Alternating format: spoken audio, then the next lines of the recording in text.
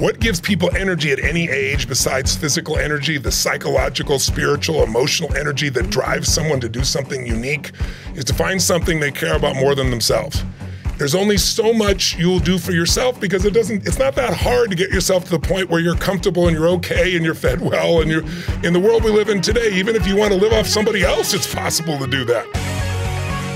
And a massive transformative purpose is what you're telling the world. It's like, this is who I am, this is what I'm going to do, this is the dent I'm going to make in the universe.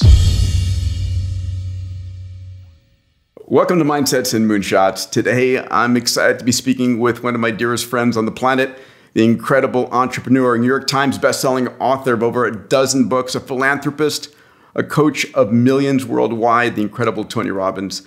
Uh, Tony has a 40 plus year career in creating breakthroughs and transforming lives. He's coached and consulted with some of the top athletes, entertainers, thousands of top CEOs, and four US presidents.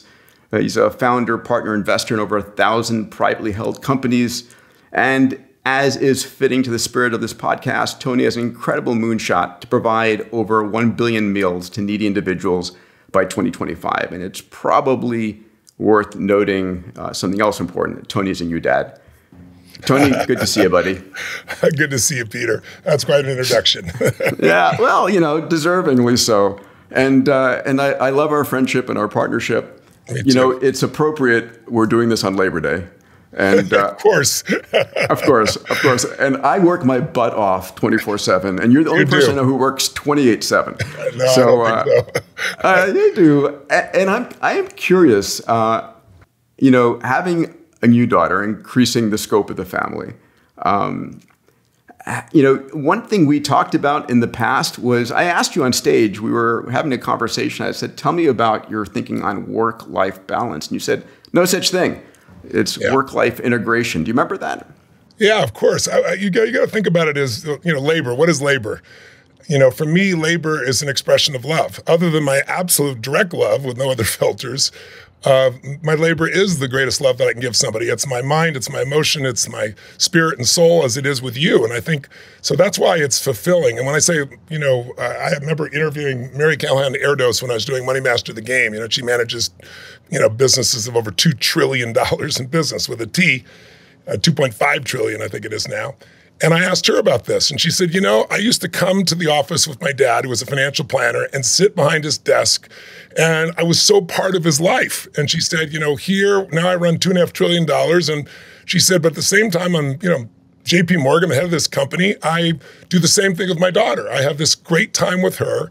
And I, I really look at it as, you know, it's an integration. It's not a balance. I mean, think about balance. Think, imagine a teeter totter, a seesaw, and you and I are going to play the game of life as balance. Okay, once we get it balanced, how long before one of us is like bored enough we want to do something, jerk this thing around to feel alive, right?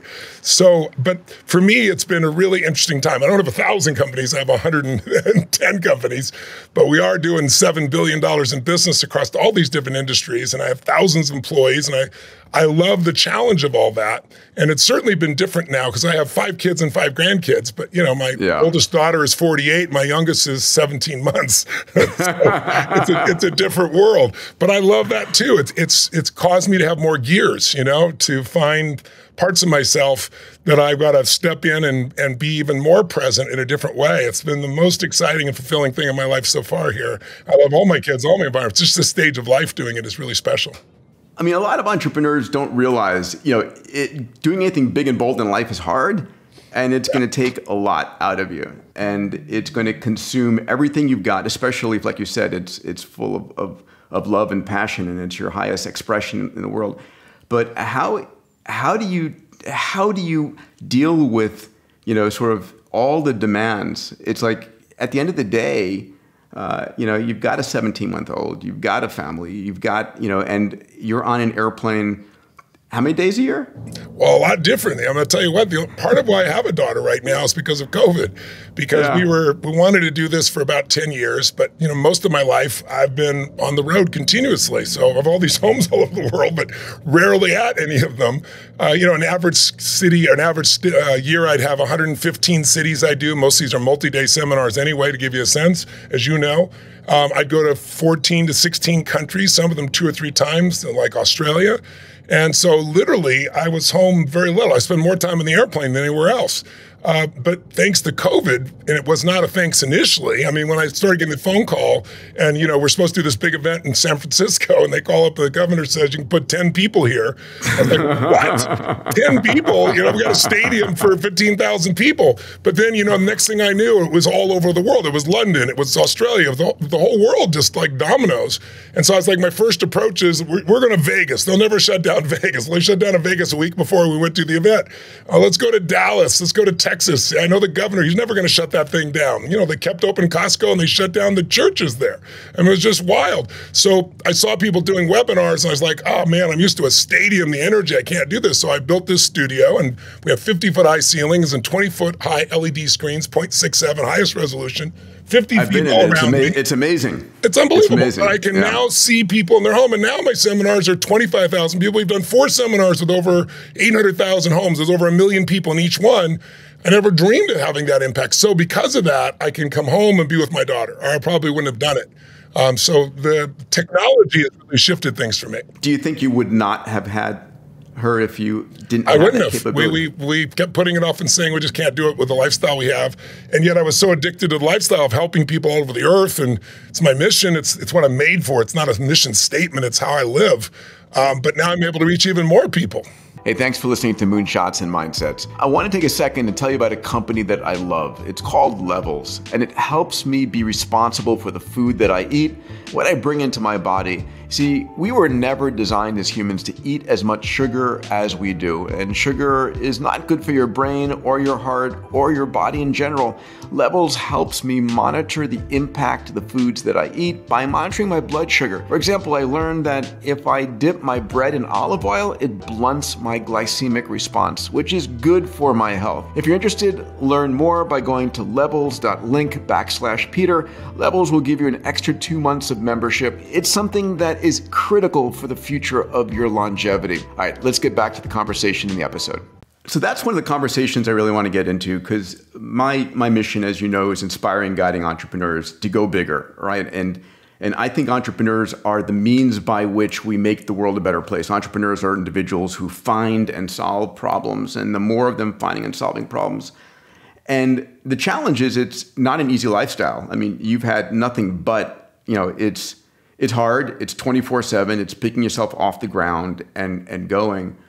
Um, I I am curious your uh, your advice for that entrepreneur who's having uh, that debate and that challenge between private life and and uh, you know having a family. Or you know what I say is that when you're starting a company, you're going to spend more time with your co-founders than you are with your wife or your husband or your kids a lot of time. How do you deal with that? Well, in my case, it, it's relatively easy because my wife is the executive producer of our lives. Sage Of is course. pretty extraordinary, Yeah. but we traveled everywhere together. We did everything together around the clock. And it, it just made us deeper and richer because as much as we love each other, our relationship is also based on a common mission of serving humanity as much as human possible, not making that statement and, and, and saying it to the world, but the way we lived our life that was most fulfilling and still is. So I don't, you know, my sons have been involved, my daughters have been involved. They've all been involved in the business throughout my life. And that's where that work life integration happens. But I also think not everybody's made to be an entrepreneur. And I don't think, I think today everybody thinks that's what they want to be. Hmm. But, you know, we all have different, we're talking about Labor Day. We all have three different kind of gifts of labor that we could give. And we can develop all these skills, but there's a nature in most people. And the first level is that skilled producer, like that person who's like an artist. I don't mean an artist like just painting. You know, some people are artists with software. Some people are artists in fashion. Some people are artists in negotiation. Like they're the best in the world at what they do. They're extraordinary. And artists do things because they want to see the impact. They want to feel it. They want they would give up the money for the impact in most cases. You know, some people are more manager leaders.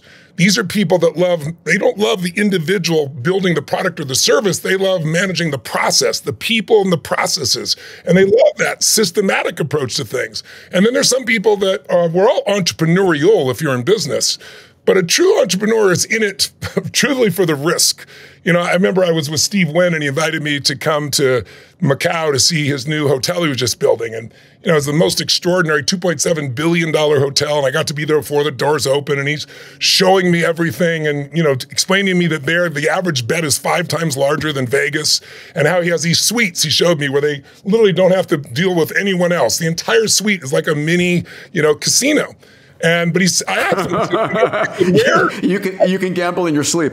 Yeah, exactly. All the way around the clock. You have to deal with a riffraff, you know, type of thing, right? And so I said, well, you know, in every business there's an 80-20 rule. I said, you know, what's the 20% of your business that produces 80% of your profit? And he goes, Tony, it's more extreme than 80-20 in my business. He goes, there's 50,000 people that produce 80% of my profit. These are the big whales. And he said, So I've hired people who all they do is take care of them. And he goes, They all play Baccarat because Baccarat is a game where the odds are really close. The, the, it's the closest odds you have to any other game to being close to being with the house. But the house still has a slight advantage. He goes, But Tony, what they don't understand is the more they play, the more those odds multiply in my favor. And he goes, So we have people that make $3 million, $4 million in a weekend, but they could also lose four or five or 10 million. He goes, I have people that all they do is live for this. So, you know, why am I telling you this story? Because to give an idea, I remember I said, Well, let's watch. After everybody opened the doors, you're seeing people mesmerized by the building and everything else. And we go up and he says, Let me show you the high rollers table. And I watched the guy, no lie, in probably 13, 14 minutes lose $10 million right in front of me. And my gut's torn up, and I'm not even the owner of the casino. I could never own a casino. I'd have to go the guy that I couldn't handle it, right? Steve just smiling from ear to ear, and all of a sudden the guy turns around and sees us standing there. and goes, "Oh my god, oh my god, can I have a picture?" And you know, I hear this every day of my life, so I said, "Sure." And he hands me the camera. And he goes, No, not you, with Mr. Wynn. He's like, Steve, I believe I went to your Vegas place. Everything's so different. You're unbelievable. Guy lost $10 million and he's hugging this guy, Steve Wynn, right? So what I really want people to get is it doesn't matter what you do, but a real that's an entrepreneur, somebody who lose it all, step back up and do it again. Ted Turner's done it. Anybody's done it. You are not necessarily made for entrepreneurship just because you have an interest in it, just because you have a passion. I think you need passion. You need to know where's the marketplace you're going to serve that has that impact. And then you got to look at competency. You got to say, what competencies do I have? What skills do I have? So for me, I'm an artist at my core. I will be on stage for 12 or 13 or 14 hours. I don't have to work another day of my life. Why am I here? It's the fulfillment of seeing the impact in these people's lives. Now, I became an entrepreneur. You know, I got all these companies, but part of how I did that was I got other people that were entrepreneurial in it because I would overspend, over deliver, over everything. And they'd say, well, does the customer care? And we developed great partnerships in that. So over the years, I developed those skills. But under stress and under excitement, you go to your nature. So the question I have for you is who are you? Are you more of an artist that like you're in it for the impact alone? You're gonna have to bring, you might ask yourself, who am I and who do I need? You might have to bring an entrepreneur in to scale that business with you who can take those kinds of risks. Or you might need to get a manager leader if you're an artist. If you're a manager leader, you're looking for great entrepreneurs to join and you're looking for artists who make that company work. So I think it's really important not just to say I have this giant goal, but to be honest with yourself about your nature. Because in the end, if you have these great goals and you're not fulfilled, then what did you do it all for? It was just for, you know, positioning, which was ridiculous. And there are very few individuals who do anything big and bold on their own. It's building a team and it's knowing what you can do and so forth. Let's drill in on the next question, which is, and I'm I'm really uh, I feel a lot of energy around this, which is a lot of entrepreneurs are doing things that are not impactful enough, right? That are I, I, the joke I make is they're building another photo sharing app and it's like they're you know the world's biggest problems the world's biggest business opportunities you know when i say that people get it but how do you get folks to be willing to take the risk to go and do something that actually can make a dent in the universe? If you're the entrepreneur in this equation if you're the individual who uh, who has those skills uh, you've built something but how do we encourage them to go bigger? Well i think you don't have to encourage an entrepreneur to go bigger. that's that's the nature of an entrepreneur. Or, uh, I mean, but it's not just about rev. It's not just about making money. Yeah, I, I understand. You're talking, about, you're, talking about, you're talking about impact. No, yeah, I, impact. Yeah. You, you, and I are yeah. completely aligned in this area, as you well know. And I, and I think your idea constantly of you know billion, you know, the biggest problems are the billion dollar solutions, right? This is the opportunity that's there. I just don't think that's everybody. I think encouraging. Here's the difference, Peter. I used to to think everybody should have their you know change the world and so forth. I, I don't think that anymore. I have a different mindset. I, I'm looking for who you are and let's help you get what you really want. And there are people that are unbelievably driven who will take giant risks, who will not sleep, Elon Musk, who will be there on the floor and will go and change the world. That is not everybody. And I don't think everybody should be encouraged to do that because all they'll be is disappointed. You know, right now, as you're listening to this podcast, whether you're one of those people or not, there's nothing you and I are going to say that's going to make a difference for that kind of person other than to encourage people as an entrepreneur to say, why not do something that'll be meaningful and size and scope and the economics, right? The meaningfulness is what the end's going to matter because the money goes away. There's only so many islands, homes, trains, planes, automobiles, you know, things you can do. It all comes down to what, what, what is your life's meaning? What is it? What have you given? What have you grown? What have you experienced? What have you delivered? And so I think I think we can call to that, but I think you do the best job of it by showing what's possible, Peter. You do so many great examples of showing how technology can really solve a problem for a billion peoples and make you a billion dollars or more.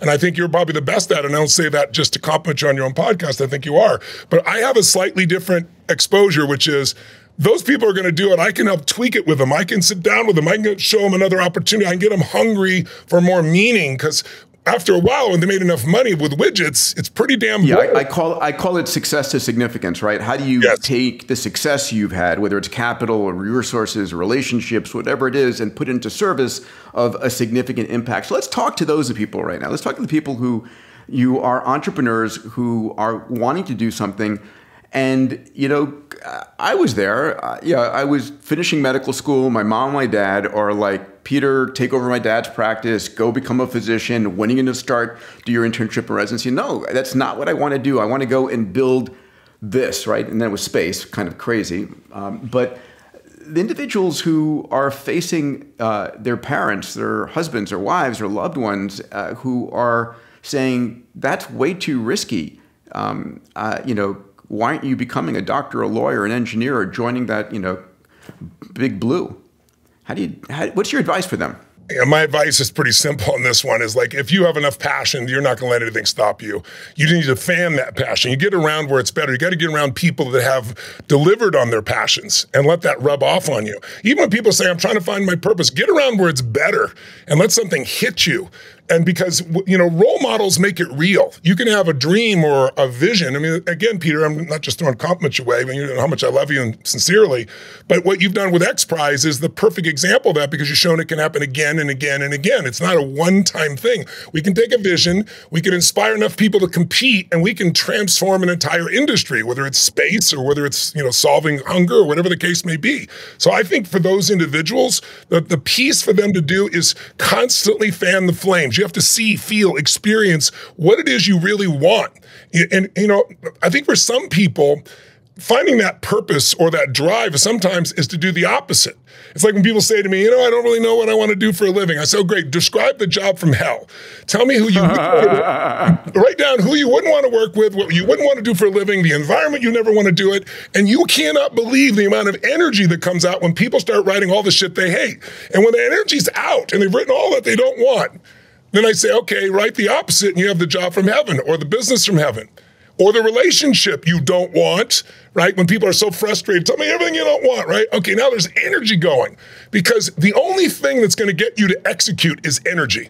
And if you sit in your head, there's low energy in your head. If you're sitting talking to other people about what's possible, they'll have the best of intent but they just don't want you to be disappointed. But disappointment is part of entrepreneurship. Disappointment's part of life. Disappointment either drives you or destroys you. You got to pick. And if you immerse yourself over and over again in what it is you want, you'll start to have pull instead of push. I mean, those are two types of motivation, right? You and I both know that that we gravitate towards those who are celebrated in society, right? We want to be that NBA All Star. We want to be that. You know, it was the uh, you know the the Wall Street dream. When I was in in, uh, in high school and college, all my smartest friends went to Wall Street to become investment bankers, like or lawyers, and I was like pulling my hair out. It's like it's such a for me. It was an empty and meaningless job. It was moving money around. It was it was basically just making money on the on the heels of folks who were changing the world. And and ultimately, it's how do we create the ability to celebrate individuals who are those change makers, who are those entrepreneurs that are, you know, it is Elon, it is Mark Benioff, it is other individuals that you and I both know. So it's it's I want to light the fire for folks to say you can make a difference in the world. You can go work on something bigger versus just falling into the normal pattern. Any thoughts there? Well, again, I think I think it's I have a slightly different point of view. When I was growing up and you know developing myself and starting to succeed on decent scale, I had these really specific goals that I was trying to target. I knew precisely where it was on the mountain.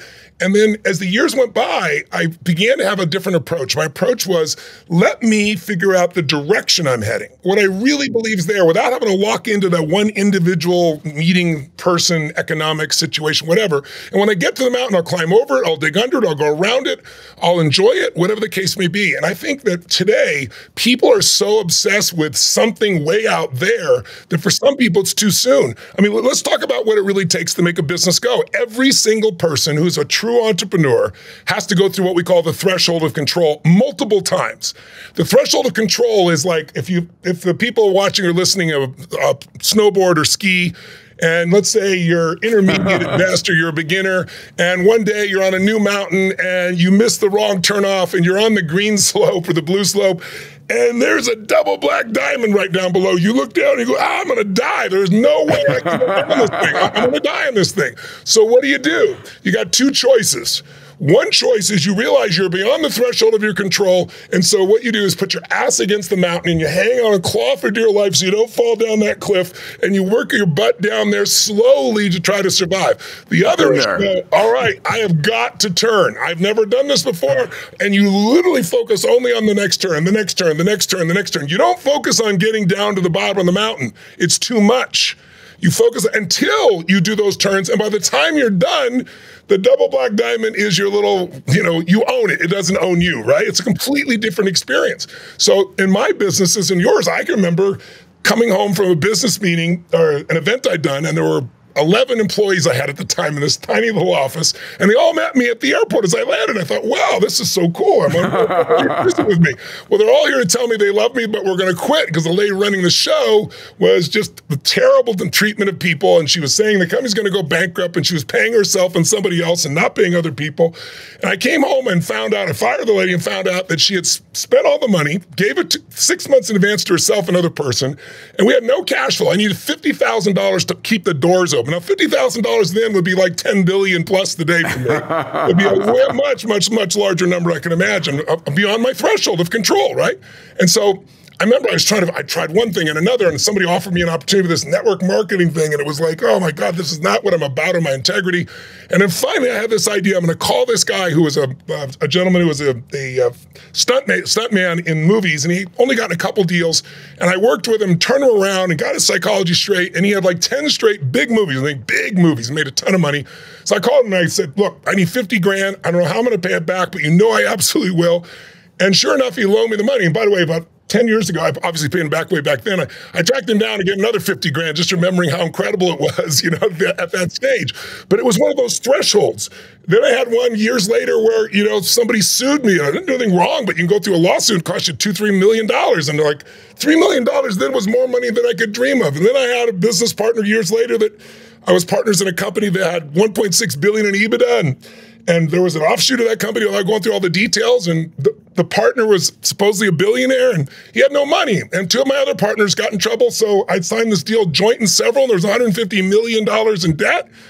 And so I needed, I had to come up with $150 million. That was inconvenient. I didn't have $150 million, but I figured it out. That's how I got to being in a position now where you know I could do seven billion in business because you go through those thresholds. So I think it's wonderful to have that giant goal, but I think most entrepreneurs still have to crack their teeth on whatever is the threshold in front of them next. And each time you do, when you become more confident, you become stronger. It's like the food. You know, originally I was you know trying to figure out how I could feed two families you know, I was just just beginning. My family fed, was fed when I was 11 years old at Thanksgiving. I never forgot it. I want to feed others, so I fed two families. Then it was four, and then it was eight, and then I got my little small company involved, and then I eventually got to two million people a year. And then about eight years ago, I was like writing this book on finance, and I'm interviewing these billionaires, and I'm watching Congress wipe out food stamps. It's called the SNAP program now. So much so that I think it was six and a half billion. It took so that every family that needed food would have to give up one week's worth of food every month unless you and I stepped in. And it's like, well, how many people have fed in my lifetime? I found it was 42 million people. I didn't even know the number. I said, what if I fed 50 million people in a year? What if I fed you know, 100 million people in a year. What if I fed 100 million people a year for 10 years is a billion people? Well, that was seven and a half years ago. I'm coming up eight years. I'm two years ahead of schedule. We're 940 million meals right now. And so now I'm working on a hundred billion meal challenge. I'm finding a hundred other people. I know you're going to be at the. I'm going to be at your dinner. Yeah. And I'm, I'm looking to find. I've already got, I've already got four people putting up a billion meals. So I've already five billion meals, more than I've done in ten years. All right, we're gonna we're gonna take this conversation someplace else that I have a lot of energy around, my friend. Right. Which Sure. is which is there. You know, there's something like 2,700 billionaires on the planet right now. Yeah.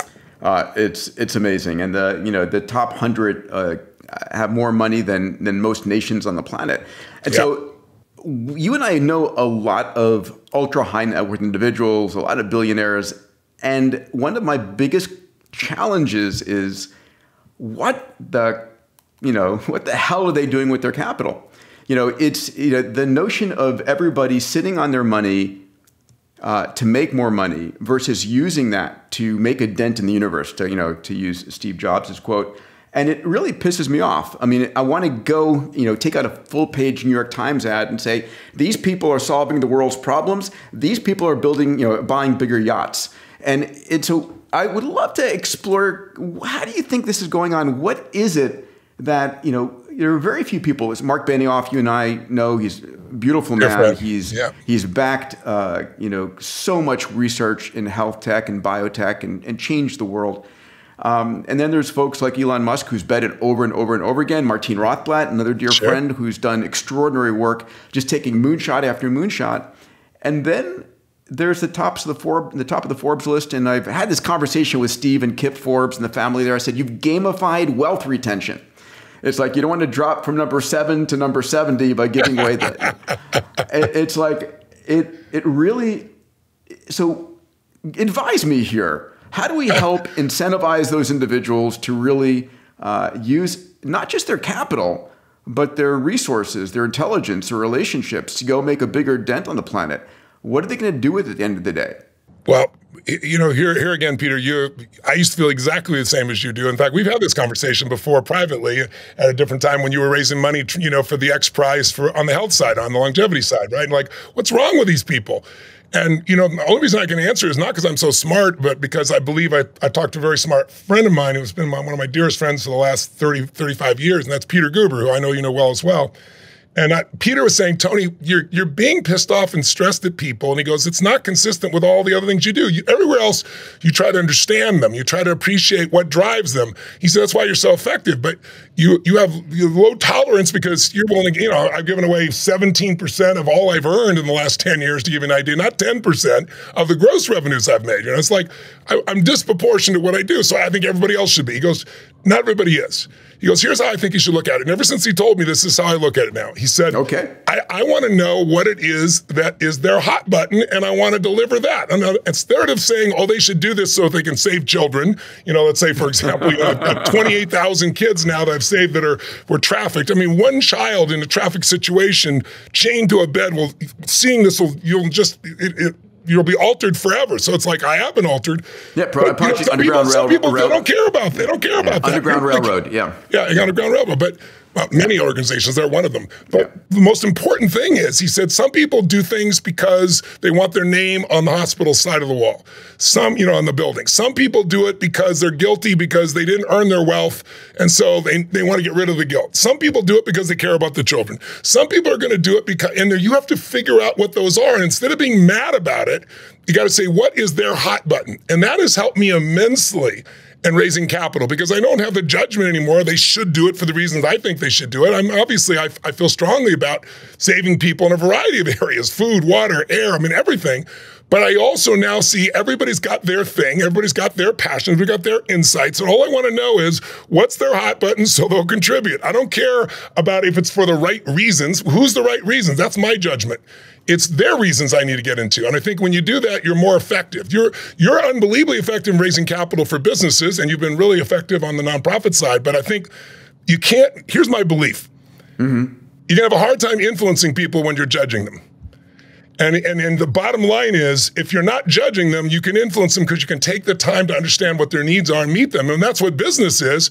And so philanthropy has to be looked at, I think, through the same light. And that's what I do today. And I've the number of people that I've been able to engage and involve now has gone geometric compared to when I just thought they should do it and got frustrated. And, and, and let's be clear, I'm not judging on what they should do. It is do anything do something. Well, you're, you know, this, that's still judging. ah, okay. All right, values. I'm, not saying you're, I'm not saying you're wrong. You and I come from the same place, yeah. but it's like uh, like your values are they should not be building more of that. But some of them are going to build that and they're going to give it away. Some people are going to build that and they're applying all these jobs. I mean, you got to remember there's so many. If, if a bumblebee goes and it's trying to get the nectar, God arranged something pretty cool. It doesn't know it's getting what it wants, but it's still playing a role in something larger. I mean you know, the pollen sticks to the legs, and that's how we have more flowers. So it's like I have a different mindset about it now. It's like if that guy keeps all the money forever and builds up his businesses, who cares? That capital and those businesses are still providing jobs and opportunity. But I'd like to find a piece of his heart. I'd like to figure out what he's passionate about or get him introduced to something that once he experiences it or she, they go, oh my God, I never knew it was like this, or I never knew it felt so good to give in this way of my time, my energy, my intellect, my emotion, or and or my money. And that it makes it more fulfilling while you're doing it. Yeah, the, the, the, conversation I had was actually around uh, an idea we kicked around of the impact pledge. I said the giving pledge, right, which is uh, uh, Gates and, and, Buffett, is I'm going to give half of my money to a nonprofit while I'm alive. And it's like, well, you can't take it with you, so you don't have that much of a choice. But uh, and this is where I was, you know, complimenting you. It isn't just your capital that you're giving uh, on on your, you know, uh, your billions now to hundreds of billions of uh, of meals. It's your capital and your intellect and your relationships and your time. And so the question is, how can we incentivize those who've got the means to really take on leaving the world a better place, making an impact? And I agree. Like, listen, I'm a capitalist. I'm a capitalist libertarian, more jobs, more businesses created, fantastic. But at the end of the day, uh, it's how do we get them to to call their shots and make it make it a larger impact? Is it just finding that heartstring, or is there any other way? I mean, you know, if the Forbes list gamifies wealth retention, is there an impact list to gamify making an impact on the planet? What ideas you have? Yeah, I, I, think anything that can tap into those different needs. Some people do things for the need for significance. Some people do things for the need for connection with other people. Some people do it to grow. Some people do it because they just want to contribute. Some people do it, you know, because they want variety in their life and it's a new thing for them. So instead of like having one universal approach, I think we have to have multiple approaches. But gamifying impact, I think, is would certainly help those who like a measuring stick and want to be known for the level of measuring stick they've developed. And that's one type of person. But I think also it's like, um, again, I think the I have a slightly different approach than I did with maybe I was 50 or 40, and that is I, I have no difficulty finding plenty of people that want to play at this level at this stage. I think more and more people do, and I think as things get more difficult, it tends to wake people up to what's most important to them. And I saw, you know, winter is it's here, but we're we haven't hit the worst part of winter yet. We've had some financial winter. We're going to have a lot more difficult times. And the one good thing I remember I was sitting down with President of the United States, President Clinton, years ago, and I went to Camp David with him, and he was complaining to me. I remember I was like 31 years old, and I really liked him, but he was just whining. It felt like to me. I was making my judgment in those days, right? This guy's the most powerful guy on earth, and he's complaining because no one understands what he's doing. You know, it was at the time when you know he was really ineffective in the beginning, and the Republicans had taken over both the House and the Senate, and he was on and on and on. And I remember just looking at him and saying, Well, sir, I said, think about it this way. You have to decide what you're going to make your focus be, and it's got to be something that other people are inspired by. The things you've done that you say no one notices, it's because no one's inspired by it. What are the targets you're going to set that are going to make this more alive and more real? And I think I think today, uh, the other thing he told me, the reason I thought the story was he kept talking about, you know, he was the first president where there was an external enemy. So for the first time in that short time, we didn't have terrorism, we didn't have the Soviet Union, right? So like now we're fighting amongst ourselves. And I've always said, you know, the I think Reagan even said this. It's like if there was ever a time that America would come to the world would come together, as if some alien group came in and exactly. attacking us, we'd all be humans, asteroid. right? Right. so, so, but there's something about bad times that will also make people come back together and unify and start to look at how they can serve something beyond themselves. And you look at World War II and you see some of the some of the best entrepreneurs in the world there who gave up a lot of what they had for the war effort to turn things around. I think the times that are coming will call to people to give more of all sorts the, the entrepreneur, the business person, the general population as well. It'll create an alignment. That's why we have seasons. Winter gets rid of the old stuff. It's tough as hell and it makes you grow. And then springtime is the reward, and then summer's the test, and then fall's the reward. It's this alternating cycles that human beings go through, it's society goes through, and history goes through. And, and for the entrepreneurs listening, you know, now is the best time to be looking for what your company is going to be, right? Some of the most extraordinary companies on the planet were born out of the, you know, the dot com bust or the 2008 real estate bust or out of out of COVID. So uh, you know, if you're looking uh, to do something, you want to step up to a bigger game, uh, look around, find out what the needs are, uh, and help reinvent the industry that you're passionate about if you look at the the Fortune 1000 and you think of the four seasons, financial seasons we go through, there's springtime when things just grow like crazy. It's easy. You think you're a genius. It's really the times that are going.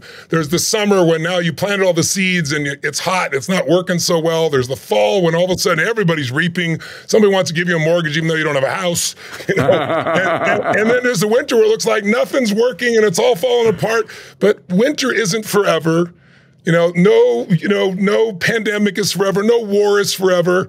It's a season. And if you do well in winter, you'll you'll stand the test of time. So of those four financial seasons, if I showed you the Fortune 1000, more than 60% were born in one season of the four. It's not balanced. And I don't care whether it's Disney during a depression or whether it was, you know, Apple during a recession, Uber, uh, Airbnb. We, we, yeah. we, can go, yeah. we can go through them all. So it's like, this is your time. And, and I always tell people there's two businesses you got to always be working on the business you're in and the business you're becoming. Because if you don't focus on the business you're in, you're going to be attracted to all this cool, exciting stuff over here and you don't have the cash flow to get there, right? Or if you just focus on the business you're in, someone's going to be out there preparing for the future that you're not prepared for and they're going to take you out. So it's really that balance as an entrepreneur that really will make you successful over the long term. Yeah.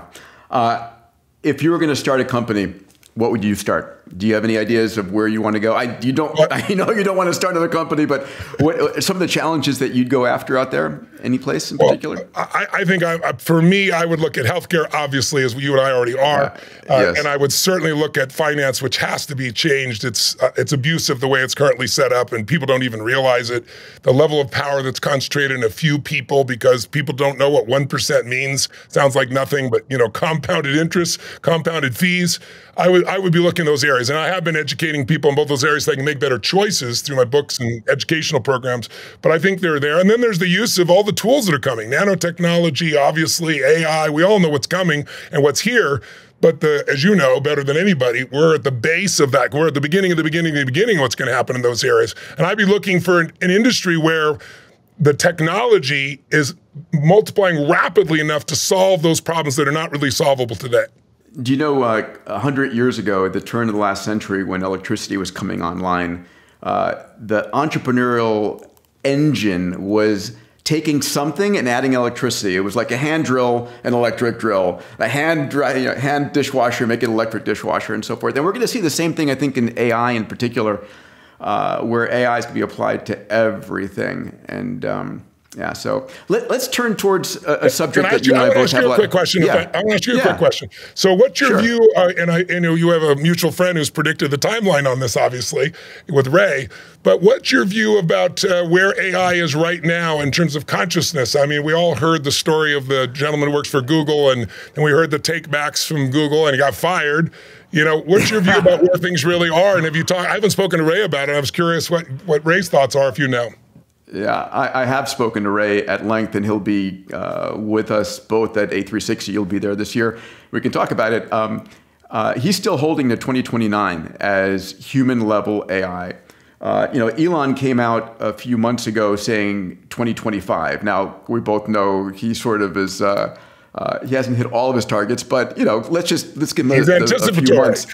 He's anticipatory, yes. So the second half of this decade. Now, what's interesting is, uh, you know, AI is a field that's 50 years old, and the idea of the Turing test came about, you know, some 40, 50 years ago. And it was originally going to be just testing a system by typing at it. Could you, in a typing communication, tell if something was a human typing back at you or a computer typing back at you? And I would argue to a large degree that old style of Turing tests, the systems today can most definitely pass it.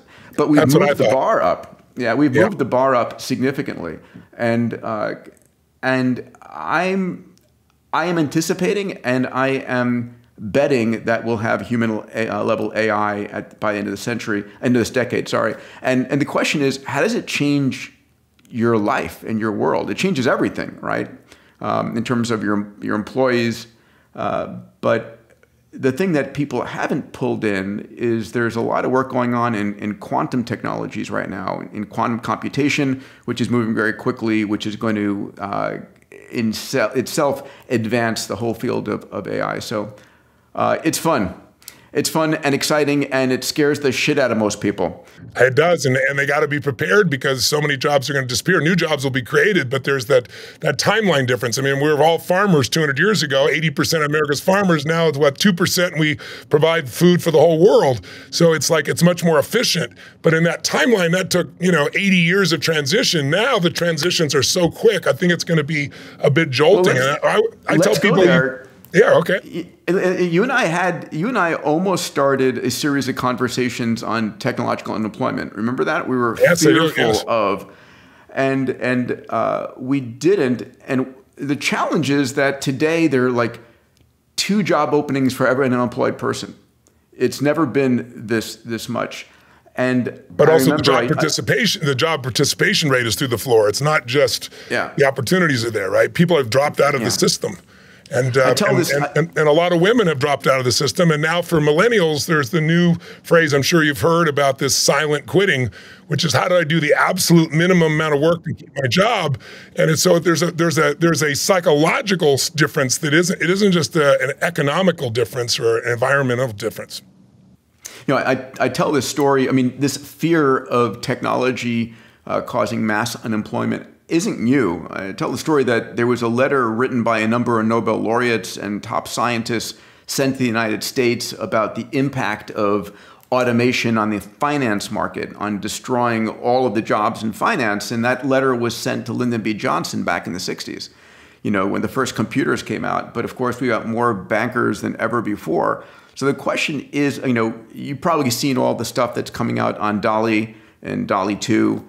I mean, it's extraordinary right? So it's going to be about human uh, AI partnership, at least for a time being. The other thing I think about is that there's a lot of people who are doing jobs which it, they didn't dream about doing when they were kids, right? They're cleaning bathrooms, they're making beds, they're they're waitressing, and at the end of the day, how do we how do we partner with AI to uplift those individuals?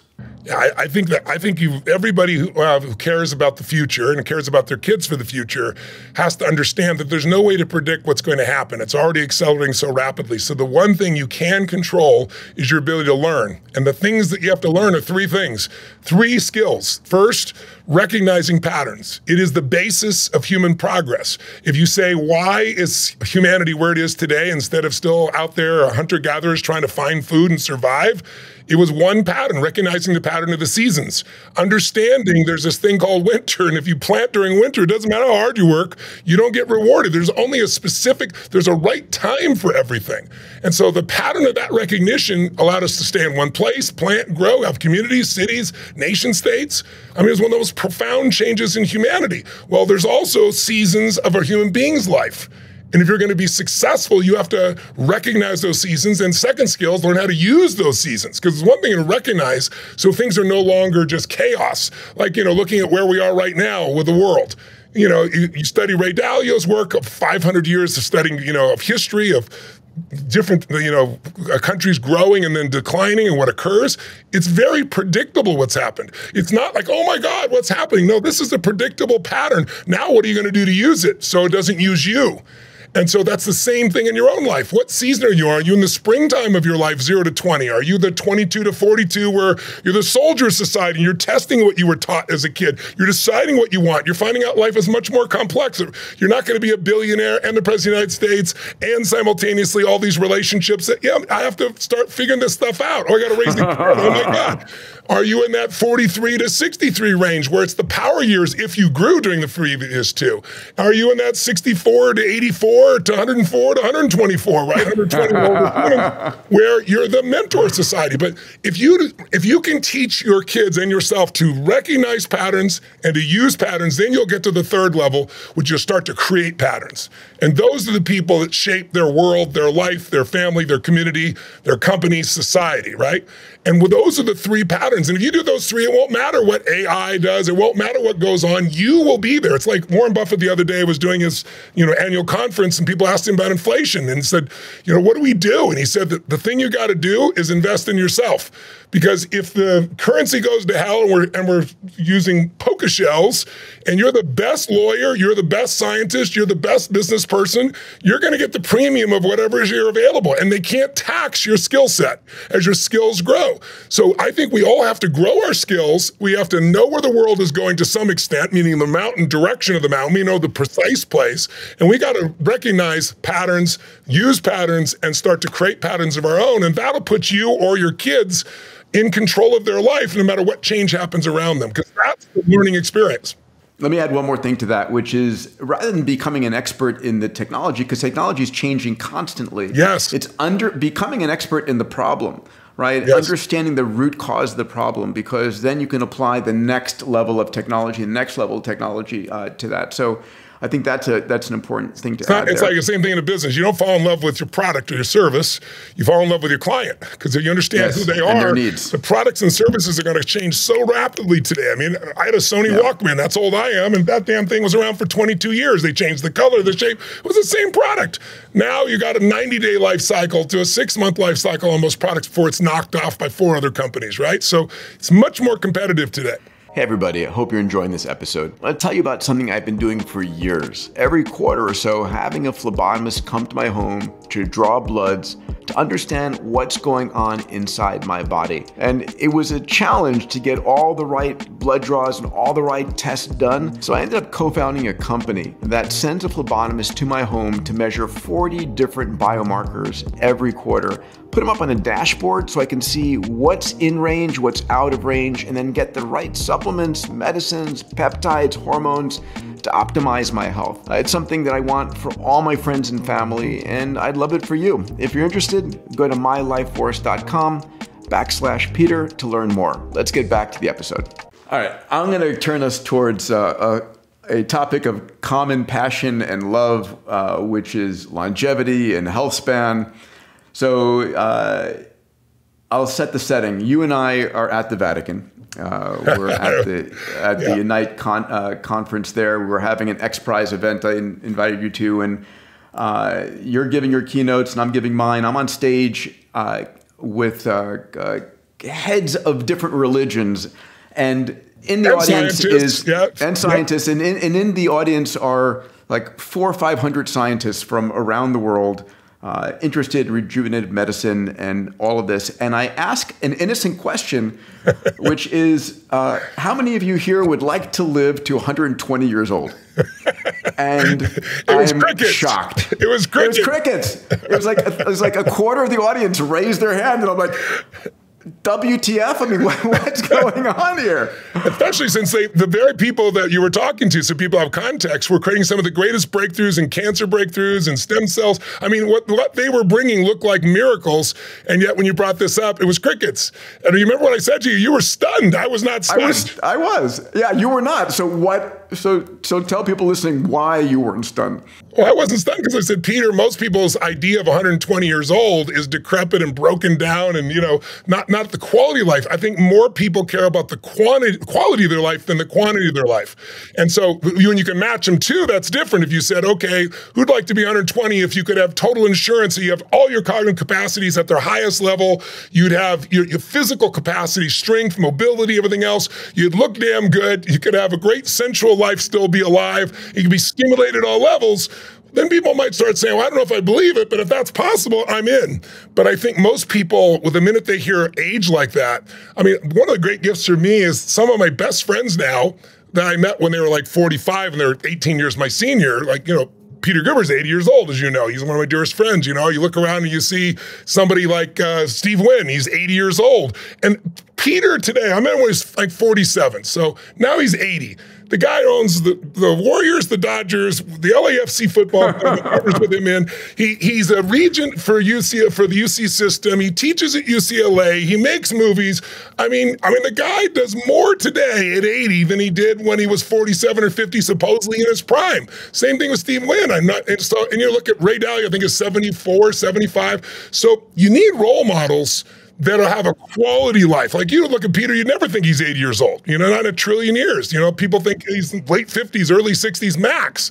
So I think I always tell people goals are great. and raising your standards wonderful. That's the first step in anything. Raise your standard for what you're committed to, what you want to have, whether it be how long you're going to live, the quality of your life. But we got to make that standard real by having role models, and then you need rituals to back it up that actually make what those role models do. What do they do that you want to do as well? That's the way I look at things. But you're right. Most people they just want to get through the. You know, most people also aren't uh, engaged in life enough. They're like, you know, I.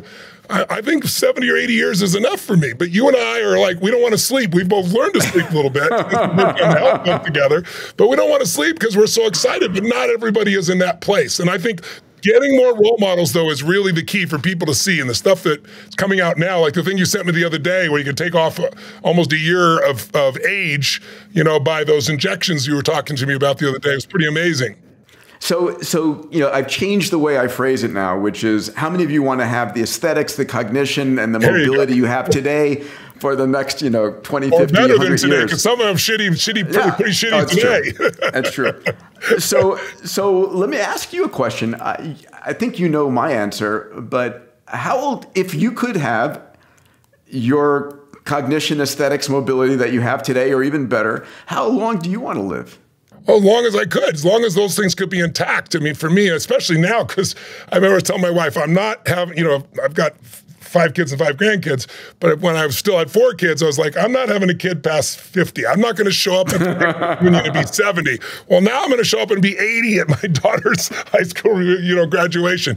But so I got more reason, more incentive to live long time also because yes. my kids are, are young and old and grandkids and everything else between it. So for me, I mean, 120 has been proven again and again as a number that most humans seem to be able, not most humans, a few humans have been able to live to. I think with the technology and the changes, what you remember the number? What was the number for the average lifespan 100 years ago, 150 years ago? Yeah, it was it was about 40 and uh, and and it's increased significantly. I remember one of the conversations we had at the Vatican. I had uh, uh, one of the senior rabbis was on my my panel, and he talked about the biblical history that you know Methuselah and and Moses had seven eight hundred years, but then uh, uh, you know humans did some wrong things in God's eye, and he said, You should only have 120 years. I said, Okay, I'll take 120 years, and then I'll renegotiate after that. But, uh, and it's, it's interesting. I mean, can you feel, um, I mean, I'm sure you can, the palpable speed at which this field is moving? Oh, it, it, you know, David's shocking. work David Sinclair's work is some of my favorite work, and anybody who hasn't looked at his work, we have in our book together, and he's become a dear friend for both of us. I think he's the cutting edge because what he's really showing us is that we can become younger as we get older, meaning that we can literally not just slow down or stop, but perhaps reverse the aging clock. That to me is the most exciting thing of all.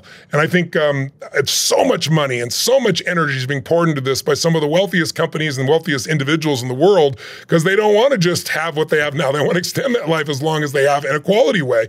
And I think people just don't know about it. So one of the reasons that we wrote Life Force and one of the reasons I was inspired to do it in the first place was I want to get this out here because from the time that a clinician has the breakthrough to the time it shows up and your local doctor, on average, is 17 years. I mean, so we try to accelerate that by showing people it's here now. You can go do this right now. People just don't know. And there are tools that can change people's lives, but you got to get people educated so they know. So I have a question for you. I had an interesting conversation with Elon about this. Um, we were at SpaceX and we're talking about a whole slew of things. He says, "So what are you up to these days?" And this is about five, six years ago. I said, "I'm really focusing in on." Uh, on longevity, I didn't call it age reversal back then, which is what you know the terminology is right now, because we're really trying to you know, not slow and stop aging, but reverse aging. But I said, you know, I want to add, I've always, I've been pretty consistent, add 20, 30 healthy years. And then during that time, we'll reach other technologies and add another 20, 30 healthy years. And he said, I don't think we should. He said, I don't think people should live that long. I think the old guard needs to die to make room for the new guard. And I, you know, he was uh, in his early 40s. My my response to him was, uh, "You'll probably change when you get older." But I, I am. I I am the Rolling curious. Stones saying, I, "If I if I'm singing a satisfaction when I'm 35, I want to kill myself." And now there's 75 doing it, right? So I am curious about that because I don't buy that. I mean, I, I see young individuals, especially in the DeFi world and in the AI world, independent of uh, of age, coming in and disrupting industries. Uh, do you feel like? I mean, we have people like Putin and others who you know we'd love to have. Um, gracefully disappear. But at the end of the day, how do you feel about that? Do you agree with him at all? Is there any context that you agree with there? I, I understand the context. The context is, um, you know, you don't want certain families, power, individuals staying in power so long and, and basically suffocating something moving up. But your point is well made, which is if you really have something unique, if you have something grand in its impact, they can't stop you. I mean, you know, Hilton's been around for 115 years, and Airbnb, our buddies over there, you know, have surpassed their market value by 20 billion dollars, and they don't own a single hotel room, right? And Hilton and you know Western Ford, you Ford versus Uber, right? Same thing. Yeah. So, so I understand, but I understand the nature. There is a sense of, are you messing with nature?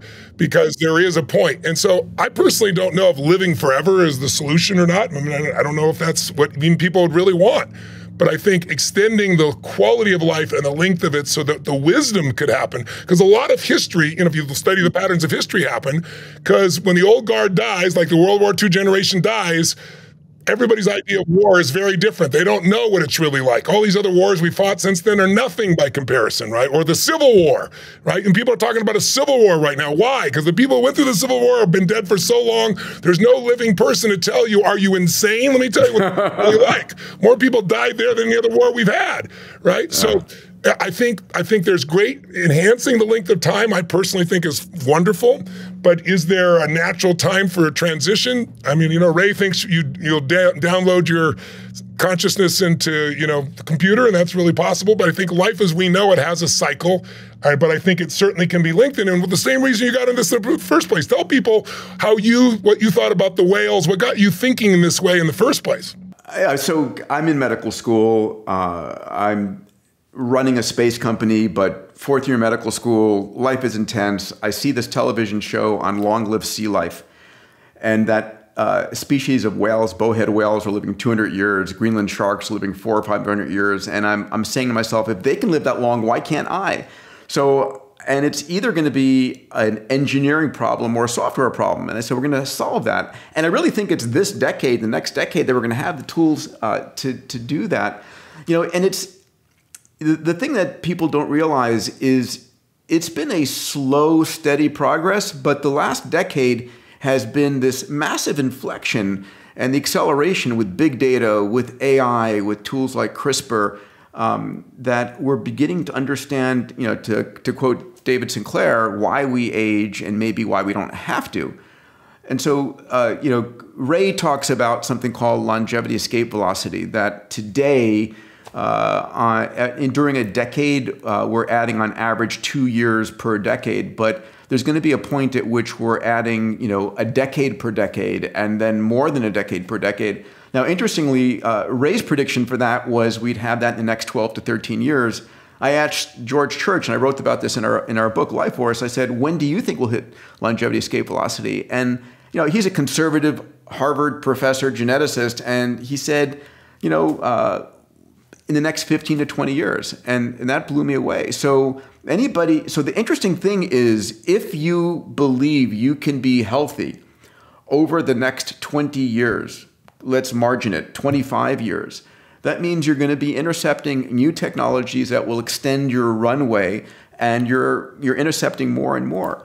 I mean, it's basically if you're under the age of 50, you're going to have the probably have the opportunity to make those choices. But what will be interesting, though, Peter, I'm, will I'm be this. hoping it's under the age of, of 65 for both of us, pal.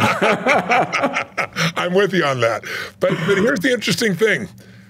Not everybody's life is so meaningful that they want to live longer. Yes, even this is healthy. the other point I want to hit on, this right? Is, this is the piece for me. It's like when people keep yes. talking about these things, it's like it comes down to human needs, human psychology, human emotion. Do they have a compelling future? You know, anyone can deal with a tough today if they have a compelling tomorrow. But if today is not compelling and tomorrow is not compelling, who gives a damn about whether living longer or not? And unfortunately, if you look at our society right now in the middle of winter, psychologically, and so many people being medicated today, right? And these medications don't make you have get out of pain; they just numb you, right? All these, I know you saw the SSRIs. The whole studies are coming out showing the whole philosophy trying SSRIs doesn't work. They just came out and talked about it. Doesn't do anything, and yet they're still selling them. The science is out. It was meta studies. So it's like it's crazy to think about this. But today you got all these people that you know have committed suicide. You have the largest number of overdoses, 100,000 plus, than we've ever had in the history of this country. There is a psychology about the future that is has to shift because being healthy is not compelling if you don't think the future is worth living for.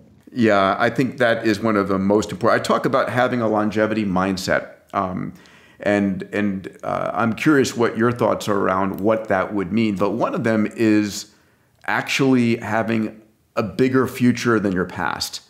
Yeah. It's it's I, I, yeah yeah. Please. I, I was going to say I think it's what gives people energy at any age besides physical energy, the psychological, spiritual, emotional energy that drives someone to do something unique is to find something they care about more than themselves there's only so much you'll do for yourself because it doesn't it's not that hard to get yourself to the point where you're comfortable and you're okay and you're fed well and you're in the world we live in today even if you want to live off somebody else it's possible to do that so in most modern countries, not everywhere, obviously, because we're having huge problems because of COVID and because of Ukraine in terms of feeding people in many parts of the world right now. That's why I'm doing this 100 billion meals challenge, not just the billion meals challenge. But if you look at this, it, we're really missing for most people a sense of what am I here to serve beyond myself? Because our society, and it's no one's fault, social media, the science of it has made us so self-oriented, and the self is never happy or fulfilled. You're happy and fulfilled when you're not thinking about yourself, when you're serving your your kids, you're serving your family or your community or some mission or your business or something you're going to live for. But as long as it's just you, you won't have the energy or desire or drive to do much else. Again, you'll only have push motivation, which is coming from pain or pleasure, versus pull motivation, which is something larger that leaps you out of yourself, out of your own individual psychology, and into a level of consciousness of service, which is where people are most alive. You know, I always said uh, I had my two my twin boys, Dax and Jet, when I was 50. They're 11 now. And I said that's part of my longevity mindset therapy, yes, right? And, yes, and, yes. and, the same for you and your daughter, yes. right? It's it's like it's a drive, yeah, for for no sure. No question, no question. You know, the power of the human mind. Uh, another uh, amazing mutual friend, Dr. Mark Hyman, he tweeted yesterday or the day before. He said uh, having a loving, connected conversation with someone will turn on genes that shut off inflammation, stopping inflammation with your thoughts. Uh, talk about the power of the mind and, and a longevity mindset to I, I, think people can will themselves to death and will themselves to life. Well we know that's true. We know that from witch doctors that you know somebody comes and they point the bone and the person has a heart attack and they die because the absolute certainty that this is going to cause them to live or be a certain way. But i think the the longevity mindset to me is really about a life of meaning um, that's what I was alluding to here. It's like what what is going to give your life the meaning? It isn't going to be happy every moment. Happiness is bullshit. Happiness comes and goes, right? But what's what lasts is meaning a depth of meaning that makes it all worthwhile. It's like, you know, uh, sometimes, you know, you and I get together people that we love or we've succeeded. Most people, when you're when you're thinking about things, we're talking about things. If we're not talking about what we're creating for now and for the future, we think about where we are compared to where we were, and you remember those tough times. And they're like some of the most joyous things because they provide contrast. Like in order to have a foreground, you need a background. And I think what we really desperately need to have people get a better sense of today is like, what is going to give my life greater meaning? What is going to make me want to get up early and stay up late and feel fully alive? To me, that's the most important thing. And relationships are the base of it all because, look, you know, it's been said a million times in corny ways. You know, when no one's on their deathbed saying, I wish I spent more time at the office. But it's just all the studies show that the longevity comes from having those meaningful, loving relationships. It's what gives you joy. And it's so sad today that so many people are turning away from the concept of family. So many young people today, because they've been convinced the world is going to end, you know, climate change is going to destroy us. I mean, look, if you if you really look at the statistics and where we are, we're not we're, we're not past that point. And if you look at human history, how many times in your lifetime, we're both over 60, have you seen the end of the world, the end of oil, the end of everything, right? And it's like it's never been true. I remember CNN was talking about just two years ago, three years ago, the barrier reef is destroyed, and now the barrier reef is growing more than it ever has in the last 30 years, right, in Australia. It's just like we look at things in this little shape here, and we also forget that the earth has warmed and cooled many times before, before we were here. And it, the world's doing fine. The real question is how will we adapt? And how do we make sure that we still create a compelling future? Because so many young people today, they don't even want to have a family because they go, what, what am I going to bring these kids into? It's winter. You need to grow during winter. That was the turning point for when I wrote the book Abundance. I was a conversation in a coffee shop, and a, and a guy and gal were having conversation about whether they should bring a child into this world, and because it was so bad, and I was like, I was like in, the, in my own mind, I was like, what world are you seeing? This is the most extraordinary world of opportunity ever. There's there's nothing we can't do. Now, there are the challenges, and, and, of course. people, people. Here's the thing: people have nothing to compare it to. It's like interviewing these college students about America. I'm so embarrassed of it. Where else have you been? Uh, nowhere. Like if they never, they've never traveled anybody else. I was in the Soviet Union when it was still the Soviet Union. I, have been down, you know, in South America and some of these countries that were on the edge when they were really on the edge. So it's like I have, I know what what it really means to have socialism or what it really means to be in communism. They have no reference. They just have what they believe about where things are, and their belief is being colored by the environment and by social media and by the current media. And I think it's up to guys like all of us who see a better future to show people what's real, what's true, and to create some contrast for them. They have no contrast. Right now, we are living with less violence than any time in human history. Steven Pinker did this great study, and over the last X number of centuries, it's been about 15% of people that have been directly involved with something of violence. Today, it's 0.006. But you know, we see it today because it's right there on your phone. It's right there in your face. It's there every single moment. We have less violence. We have longer living. We have we have a, a, a world where we got more people out of poverty than ever in human history, even though there's still poverty and huge challenges. We have these. Everything in your hand. You know, it's it's crazy because we're bombarded by the same murder over and over and over again in our living room, and it just hits our amygdalas, and it's it's insane. Um, you know, showing people that better future, showing the potential of that future is really going back to our first conversation on entrepreneurs. Would I really want uh, those listening to us to, to, to internalize and, and focus on it's how do we how do we create a vision of that future and really that's a little bit of where X Prize is going. It's like this is from a first principle thinking this is possible in energy in the future. This is possible in education and healthcare and we can uplift every man, woman, and child. Yes, so, no, no question, no yeah. question. And I, I, I'd say to those people also, especially the ones that have who've built some resources. It's like, where else are you going to go? I, I got to the point I can remember maybe ten years ago where it's like, if I wasn't doing this for my passion, I, what would I be doing this for? I've outdone everything I ever dreamed of, and there's no thing that I want, you know, planes, yes. automobiles, and none of that drove me anyway. Impact is what's driven me. So, like, okay, well, I'm going to reach millions more people. How do I make that game bigger? And that's when I started setting these goals. Okay, I'm going to feed a billion people. That is a worthy goal on top of all the hundreds of millions or billion people I've had a chance to touch in other ways. Let me provide food them. And then I remember I was in India and I saw these kids dying of waterborne disease is so easy to solve. And so now I provide water for a quarter of a million people a day in India, and I got a goal to go to a million. Then, you know, I was fortunate enough to get my own plane. I was like, I'm conscious about what that means. It's like, okay, how many trees is that? That's 5,000 trees a year. So I planted 71 million trees on my goal to 100 million trees already. But not just trees, building farmland and showing people in Africa how to create these rain, these forests, these areas where they now have a new crop every month instead of once a year. How do they go from $1.25 a day to $12. It doesn't sound like much, but they're rich in their community and they're not trying to cross the desert and dying. And they, when one crop doesn't work, they're still there. You know, it's like, so I go, okay, air, water, food. Okay, how about freedom? How about all these kids right now? The slave trade is the largest it's ever been in human history. Nobody wants to talk about it. It's so ugly. It's the fastest growing crime because they get to use it over and over again. They don't have to send a new drug. They use that child over and over again. It's insane. So, okay, now we got 28,000 children on the way to 50,000 children want to free. It's bigger than the city I grew up in. That was the target. But these goals, you know, I want to I want to create a community where the people are going to live. I, I, worked with a 3D company. We built hundred homes in Mexico. People there showing a lifestyle and showing all these NGOs what's possible, how fast you can build a home in a day.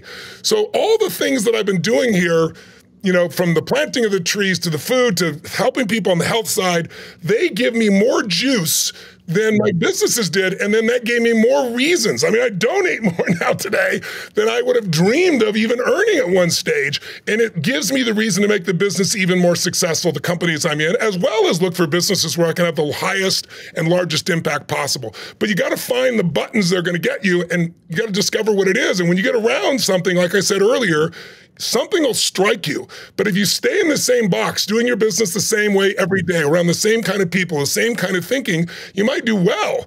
But are you going to be fulfilled? Are you going to be driven? Are you going to be excited? Are you going to have a sense of meaning? You need to find something big enough and bold enough, as you have done, Peter, and I have done, and the people we love have done, that really will get you to maximize who you are. Because in the end, the only thing we get to keep is what we've given. This is the juice I wanted for people to hear, right? Because it really is inspiring them to pursue that life of meaning, to, to make a bigger impact on the planet, to use whatever skills or treasures or tools they have to go and do that because you have a choice where you invest your time. All of us have today, you know, the same 24 hours in a day, seven days in a week. How many how many days in our lifetime? It's how we spend that time uh, that we can choose and make a difference in. And and you know, we have the ability more than ever before to impact the world's biggest problems, uplift individuals, whether you're doing it directly or you're doing it by the company you choose to work for or where you donate your money.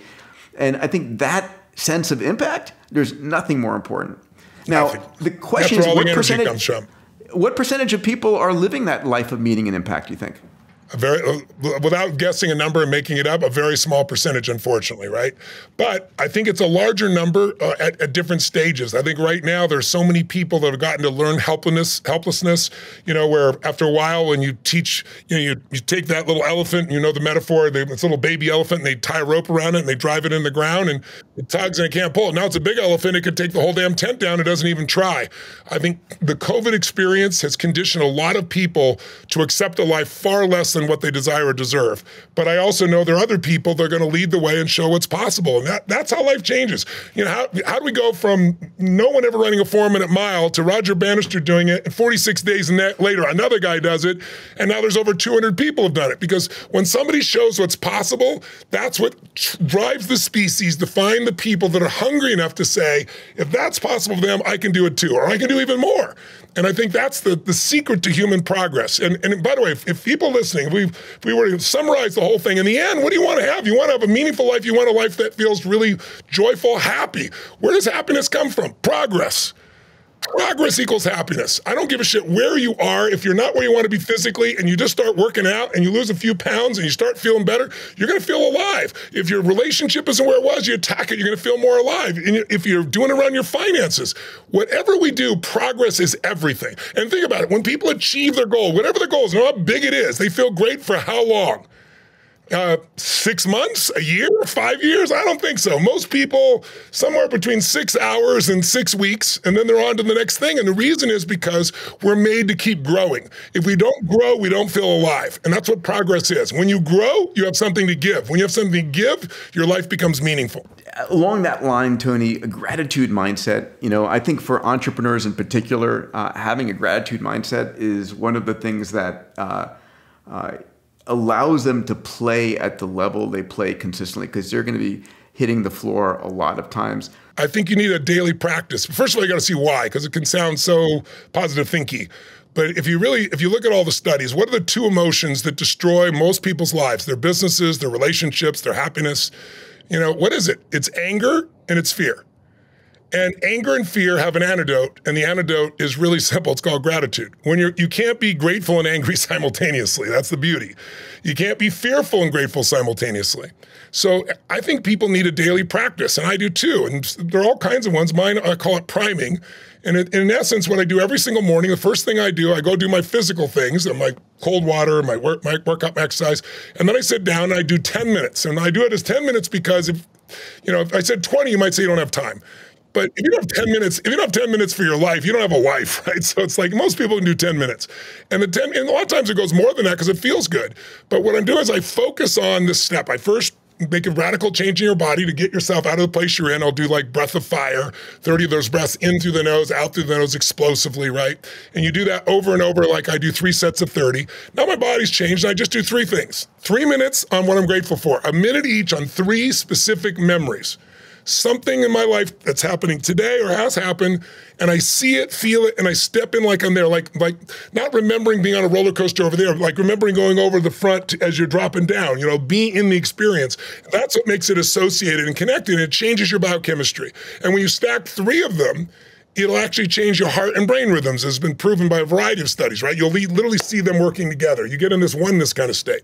And then I do just three minutes of what would be like a prayer or a blessing for the best of me to be used that day, and then sending that blessing from my heart into all those I love, starting with my children, my family, my friends, my coworkers, all the way out to people I'm going to serve. And while that may sound airy fairy, there's been plenty of research shown that when you go into a state of compassion or love for others, including strangers, it rewires your brain in a different way. And then the last three minutes, I do what I call three to thrive. I spend a minute each and think of something I really want to achieve, but I don't think about wanting to achieve it. I see it as done, complete, and celebratory in my body, like it's actually happened, convincing my brain that it's already there. And I'm done. And in 10 minutes, I have primed my brain for an extraordinary day. When, if you don't prime it, it's going to be primed by the news. It's going to be primed by what somebody tells you. It's going to be primed by the first challenge put in front of you. So I think using gratitude as a daily practice is really critical. If people want to, they can go to tonyrobbins.com forward slash priming. It's free. There's a video that'll guide you through it if you want to do it, but, or you can just do your own version of it. Yeah, and I've done it uh, a dozen times at all of your events, which I commend to everybody. They're extraordinary, especially Date with Destiny, which has changed my life decade after decade. Um, buddy, uh, I, I want to turn to a final conversation around around moonshots, um, and I define a moonshot as going 10 times bigger compared to when the rest of the world is going 10% bigger. And, and you are an individual uh, who has taken a number of moonshots over and over and over again. Uh, obviously, what you're doing in feeding, uh, what's the target now? 100 billion? 100 billion. Because I'm clocking on the billion right now. Yeah, 100 billion. Yeah, that's it. It's, it's not 10x, it's 100x. The psychology of allowing yourself to let go of the past, of what is rationally doable, and going for something insane is super hard for people to do, right? And it's, you know, at the end of the day, the day before something is truly a breakthrough, it's a crazy idea. And and most of us don't embrace crazy ideas. Institutions don't embrace crazy ideas. Corporations governments and so forth. It's really that individual who's got this vision of what youtube or airbnb or uber or spacex or tesla or whatever these companies they're crazy ideas until they're made to happen and and we have a large number of entrepreneurs going after moonshots. I'd like to tell you what I think gets in the way. I call it the tyranny of the tyranny of how. You got to avoid the tyranny of how. Uh, when Martin Luther King or John F. Kennedy use either example, John F. Kennedy goes out and says in front of the American people, "We are going to put a man on the moon and return him to Earth safely in this decade." And the people at NASA are like, "What the f? There's no way we don't have a decade." so what did he do? He knew what he needed to do as the leader of this country, and he knew why. The why was the Russians were beating us in space nuclear power was happening and it was concerned about their ability to destroy us. This was not like, I think we should do this. It's like we have to surpass them in our technology to protect this nation and continue to lead. And so when he put those, you know, irons in the fire, everybody said it couldn't be done. But it did. When Martin Luther King got up and said, I have a dream, and he shared that dream, he didn't have any clue how. In fact, the how wasn't clear. And while we're still improving that area, you know, no, we've had a president of the United States for eight years was African American. That was unheard of, unthought of. It couldn't happen without his dream first.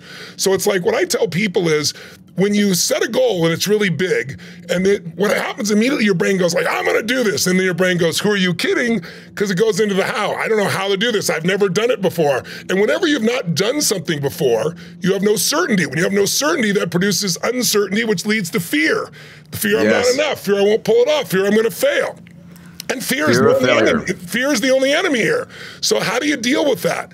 you first get so strong on the what and why. What is it I really want and why do I want it with enough reasons? I always tell people reasons come first, answers come second. If you got strong enough reasons why to do something, you know exactly what you want, and the target is exciting enough, you're going to go there. So the guys at Airbnb did not have a vision for where they were when they started. You know, they were just trying to pay their bills. That's that's thing I want to get people to understand. They didn't have enough money, so they put mattresses on the ground, and there was a, a, a conference in town. They were trying to sell it you know, it looked like a failure of a business for the first five years. But, you know, here we are 10, 12 years later, and it's unbelievable. So when I first started setting some goals, I can remember I was sometimes it's just putting the line in the sand. I was at a um, at a grade school in Houston, Texas, 30 years ago. I was 30 years old.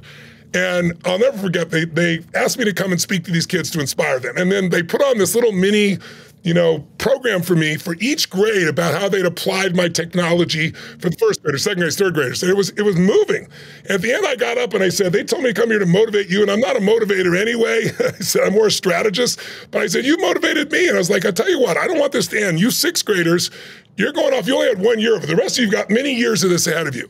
I said, I'm gonna I'm gonna arrange to pay for all of your college educations as long as you do a couple things. I did this on the spot. I just remembered seeing this guy in uh, where was it in in Harlem who decided to, to pay for the college educations of these kids. But I said, you know, but I don't have a college education.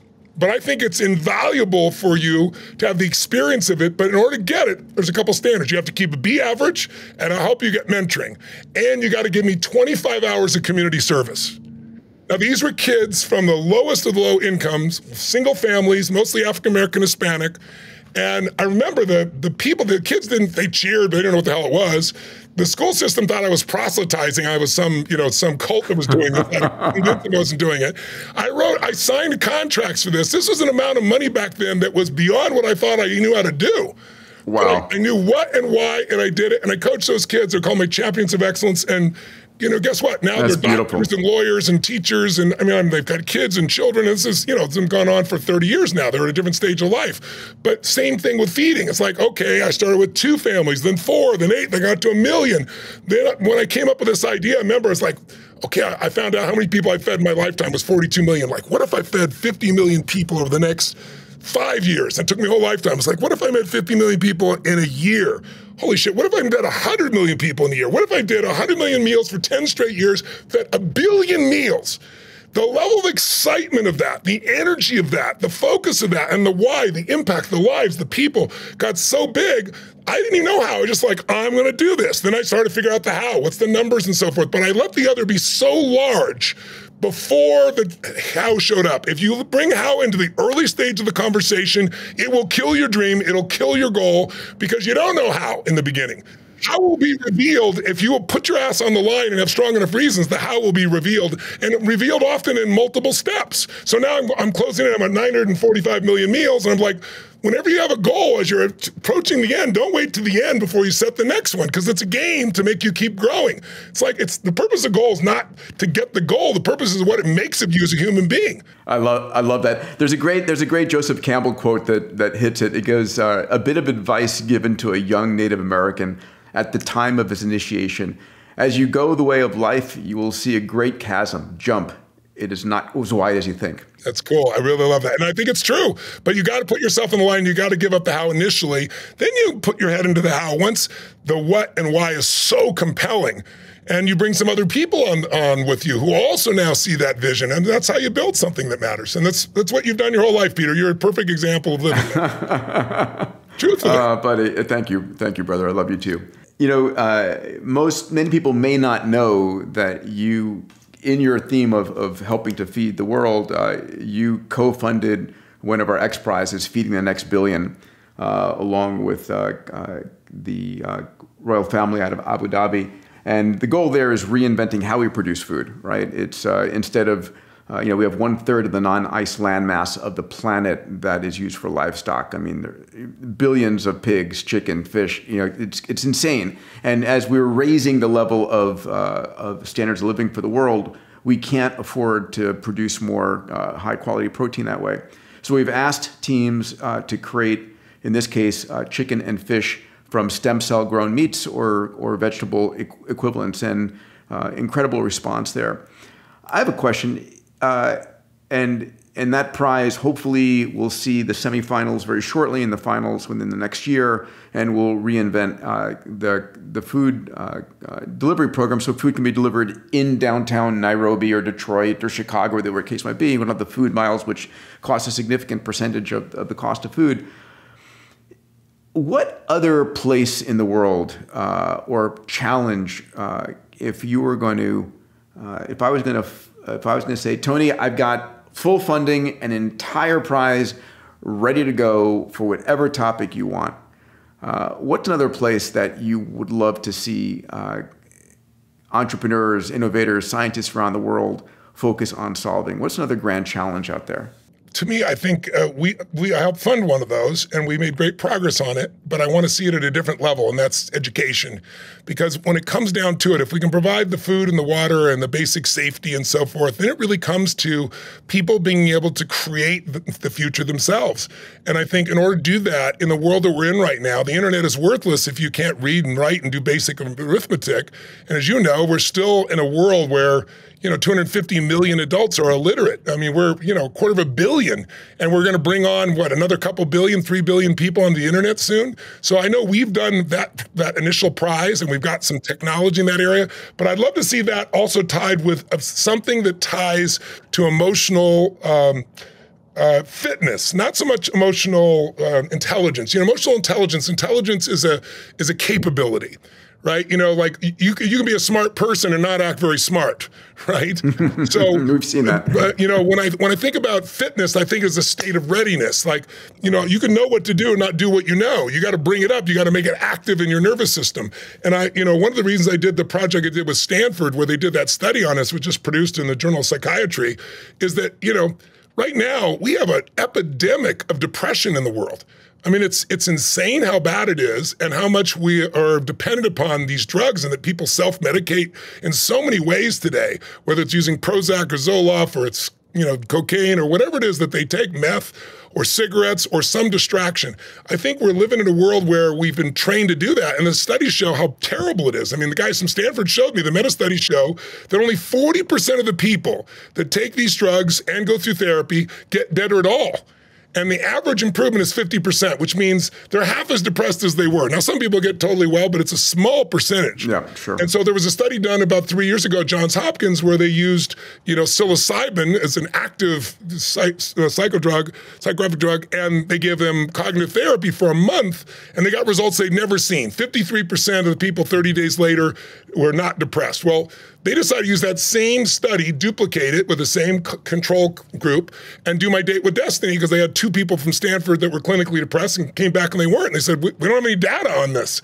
So they did the study, and it was so profound, they didn't believe it. And so to cover themselves, they sent the information out two different organizations double blind.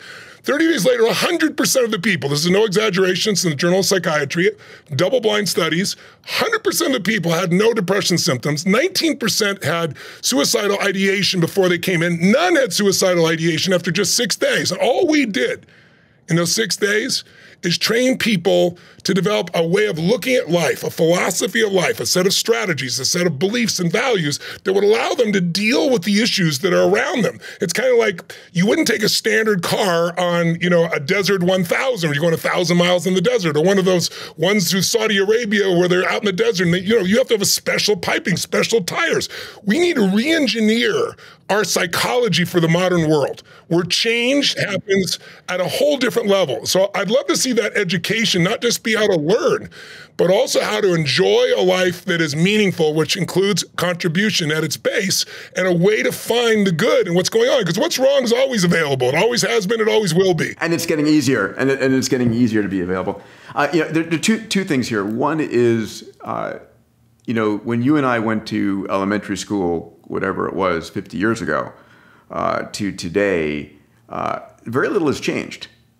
It really is pathetic that so little has changed in that. And your your daughter's going to be getting ready to go into that cycle in the in the in the decade ahead. And I think about this with my two 11 year olds that um, I I just find what they're teaching and how they're teaching, and they go to the best school here in, in Santa Monica, as far as I'm concerned, is still um, it's it is a travesty that we've not reinvented the educational process, right? I, Around. I agree 100%. 100%. And I think there are people working on it, but it's like, why aren't we using the best teachers? You know, I know you know there's a couple of models like this already being tested. Use the best possible teachers, and then the, the time that they're doing at school is where they're being helped. That's where their homework is. The lesson could be at home, and they're watching and taking notes and doing those things. Now, not now yet, because we still don't have full enough internet and so forth, but the direction is why would yeah, I take, flip, why would I take average teachers or weak teachers to teach me when I can get the very best on earth to teach my son or daughter. And, you know, in my daughter's case, I'm, you know, I'm fortunate enough to have done well enough in life and business, help enough other people that I've got the economics to say, no, she'll, she will be homeschooled and she'll have the best teachers on earth because they're available. And I think that's the direction things are going. And also the cost is absurd. The government, especially this, I'm not being political, but to, to, to give a trillion dollars away to a small number of people that are professionals and when all the people that didn't go to school because they couldn't get the money or have it, you know, to have a plumber being paid for or a taxi cab driver being pay for someone who's getting an advanced degree or a degree that doesn't mean squat. For and all not to mention all the people like you and I who went to school and paid for the school and did it on their own. I mean, this is absurd, but that's why we have the problem we do because they know it's being guaranteed by the government. I mean, when a company, when a country, uh, you know, your one of your beautiful schools has a fifty-three billion dollar basically annuity. They're it's, really just schools. Insane. There's, there's it's, tools with with with uh, with private equity attached to it. You know, that's what they are. They're no, just, I know, but but this is when I go back to the issue of billionaires giving away their money. It's like, really, does Harvard need another billion dollars? I mean, honestly, do they really need that extra billion or Yale dollars? Or Stanford, they're all great schools, but, yeah. but the truth is, they are not hand, they're not putting students out there that are being productive in the world. Let them reimburse these students instead of the plumber or the electrician. So you hit a couple of points. I want to I want to come back to. The point you made about uh, is called the flip classroom, right? We the Khan Academy, where you at home at night you learn uh, about trigonometry or about history and then in school it's a conversation and doing the work with a teacher there. And it really is and we're seeing open classrooms uh, around the world from the top universities. And the other side we talked about the notion that human level ai is coming right? The, the notion of how do we enable AI to be the best educator. And by the way, the cost of that is effectively going to be zero, just like Google is, right? It's the cost of electricity. Now, uh, you and I have talked about creating AI versions of ourselves, and you've invested in a couple of platforms looking at that. And I, we should catch up because I've got a new company I want to share with you that's uh, going to digitize me and, and should do the same for you. But the idea of having uh, the knowledge that you've you know taking what you did with Date with Destiny, and uh, how many people are typically in Date with Destiny with you? Ten thousand. Ten thousand. Yeah, and now we still, do now we do it we do it digitally now. So we used to do five thousand, but now people can participate from their homes around the world. So we doubled. And and people get a huge amount by just being in the conversation and doing the work. And I commend it to anybody. You have to go through this. It is a, a life changing experience on so many fundamental levels. Um, you know, it's it's interesting. I, I I thought about you know how much I wish I had done it when I was twenty um, let alone 30 or 40. But, you know, if you're 50 or 60 or 70, when's the best time to do it? Tomorrow, you know, in this next cycle. Um, but the ability to digitize yourself and the best uh, uh, leaders, uh, educators, coaches, uh, therapists, whatever it might be on the planet, and making it available to an individual uh, has the potential. I mean, for when we talk about mental illness and people who need help, um, it's this technology that I think has the biggest potential impact. I agree 100%. I've made several investments in it. I'm right now in negotiation with another company, so I'd love to hear the one you're talking about. But uh, the ability to really true true AI of true interactivity, and it's not just me. I mean, I can do that for individuals, adults, but instead of me working with 80,000, 100,000, a million people as a group, being able to individually, 24 hours a day, 365, be there for them. And screw me, have you, have Ray Dalio, have all the different great leaders in the world be the teachers for people. That's where education is going to go, and it's going to drop the price through the floor. We're still going to want to have the experience of being together in some locations and doing things together, but I, I think it's going to be a mix of these things, and I think it's going to change things. Right now, it's the worst investment you can make is for most people. I mean, there's for some people it's great Depends on what you get educated in, obviously, and what the quality I mean, of take, education. Take is. the take the time, let alone the money you would have spent, and go and do an internship with somebody. Go and be yes. an apprentice. You know, yes. I have a number of, of people who are my strike force members who intern with me, and they're in everything in every conversation. You know a number of them, and it's like there's no it's it's it's ridiculous uh, current college education. We and we have to differentiate between learning and socialization. Exactly. I'm saying the socialization you're still going to want to do and you're going to share experiences and so forth. But I just think it, it, can be done so much more efficiently. And this is not sustainable. And, you know, we can't just keep, quote, you're not forgiving a trillion dollars or half a trillion dollars. You're, you're making other people pay for it. I mean, how can you possibly justify that it's, except to try to get votes? I mean, it's a political move. It's not a move that's based on what's right for society. And those things are they're piling up. That's why we have the, the, economic challenges we have. We're a little bit like Rome right now. You know, you study Rome, and Rome just got to a point where they couldn't sustain financially what they built. We're getting close to that if we don't turn things around. And anyone who's listening who is has energy around some of these challenges, whether it's in health or education, consider that's where uh, you know there are incredible businesses to be built. We're going to reinvent the entire education system and healthcare system is going to be disrupted. Those are the two biggest systems. Finance is there too, government not far behind, that are going to collapse and be reinvented. And so the question is do you have a vision of what that would look like? How you can uplift and help people? We're going to demonetize, democratize, dematerialize schools. It's going to be in AI, it's going to be in the metaverse, it's going to be personalized where I get the education the way I want the education. Do I want it visually, auditorily, experientially? It's going to be meet my needs. You know, it's going to be a classroom of one where the AI knows whether I learned anything or I didn't. Did it hit me or did it miss me? Instead of a classroom where half are bored and half are lost. But in the meantime, while you're waiting for that beautiful future that's being built, make sure you take control of your kids' education right now. Make sure you don't just shift off to somebody else. There's a few things in life that you want coaching from others on, but you need to make the final decision. If it comes down to how your children are going to be raised or their education, if it's coming down to your health, if it's coming down to your finances or what you're going to believe spiritually, these are areas that it's good to get coaching, but you have to decide because if someone else is sincere but they're sincerely wrong, it's going to destroy your life, whether it be health or whether it be relationships or whether it be your children. So there's plenty of great tools available right now. And because, you know, I'm now with a 17 month old, right? My daughter, it's like I'm I'm immersing myself in all these different forms of education. The things that are appropriate for her now and the things that are coming, they're available. So we don't have to wait for this beautiful, compelling future, and we can all participate in creating it as well. But I'd say don't stop. Don't stop right now just because you're busy. Make sure you get those things in that matter most to those you love most. Brother, um, thank you for spending Labor Day with me. Uh, Seems totally give, appropriate. give my give my love to Sage and uh, family. And uh, thank you for all that you do. Uh, thank you. I don't think people realize the extraordinary scope uh, with which you bring meaning to not just your life, but so many people around the planet. Uh, it's a pleasure to call you uh, a brother and a friend.